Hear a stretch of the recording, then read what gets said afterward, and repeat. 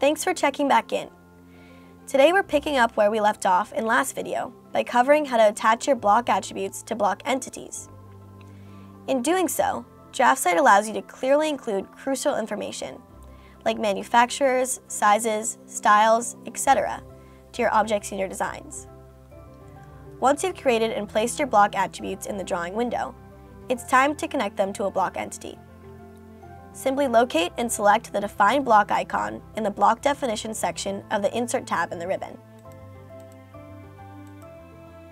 Then, a block definition window will appear, containing block creation settings for you to customize.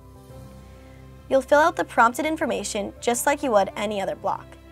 However, when you reach the step of selecting the entities in your block, by clicking the Selecting Graphics area icon, you'll select your block attributes along with the block entity they describe.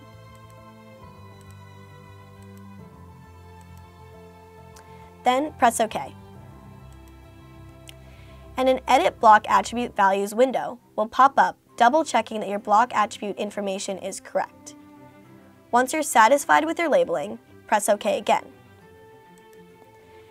And your attributed block will appear. Keep in mind that every time you insert another version of your block, DraftSight will give you the option to change its attributed values. Likewise, this is where the order in which you select your block attributes matters when creating your blocks, because the first attribute you select will be the first value you'll have the option to revise. I hope this post encourages you to experiment with adding detail to your DraftSight drawings with block attributes. If you're looking to learn more, visit the blog page or visit draftsight.com.